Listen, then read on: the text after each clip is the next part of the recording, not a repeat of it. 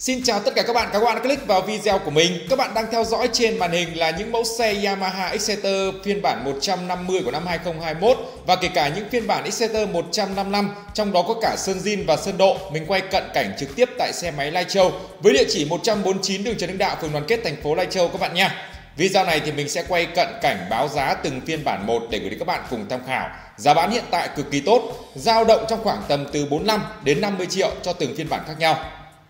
Các bạn đang theo dõi trên màn hình là phiên bản màu đen nhám, hiện nay có giá vào khoảng tầm 46 triệu cho phiên bản này. Kế bên cạnh là phiên bản màu trắng đỏ, giá là 45 triệu các bạn nhé. Về cơ bản giá nó chỉ chênh nhau khoảng tầm từ 1 đến 2 triệu mà thôi cho các phiên bản khác nhau. Phía bên cạnh nữa là hai phiên bản giới hạn các bạn có thể theo dõi trên màn hình. Ba phiên bản thì đúng hơn, phiên bản màu xanh cam này, phiên bản màu bạc đỏ cam, phiên bản màu xám xanh đều có chung mức giá vào khoảng tầm 46 triệu đến 46 triệu 500 cho ba phiên bản này các bạn nha.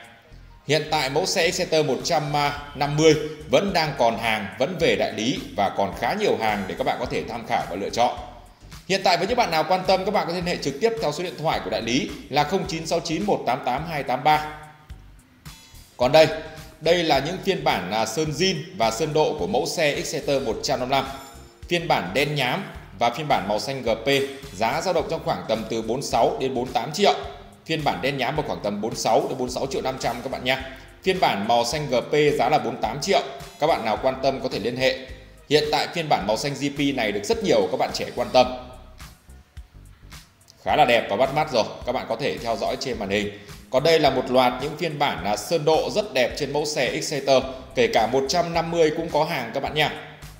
Sơn các màu sắc hấp dẫn, đẹp, đều là phiên bản màu kiểu dạng xanh nõn chuối, pha lẫn màu đen phiên bản màu cam đen hay những phiên bản màu à, xanh lá cây, phiên bản màu xanh dương đều có đầy đủ.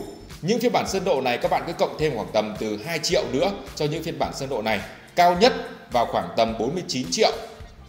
49 triệu đến 50 triệu cho những phiên bản sơn độ ở đây. Khá là đẹp và bắt mắt rồi các bạn nha. Đa phần thì đều được lên từ những phiên bản cao cấp thôi của mẫu xe Exciter Do đó giá vào khoảng tầm à, 49 triệu. Phiên bản nào là màu xanh ấy, xanh đen ấy là lấy từ màu xanh GP Thì nó sẽ vào khoảng tầm 50 triệu. Các bạn có thể tham khảo như vậy.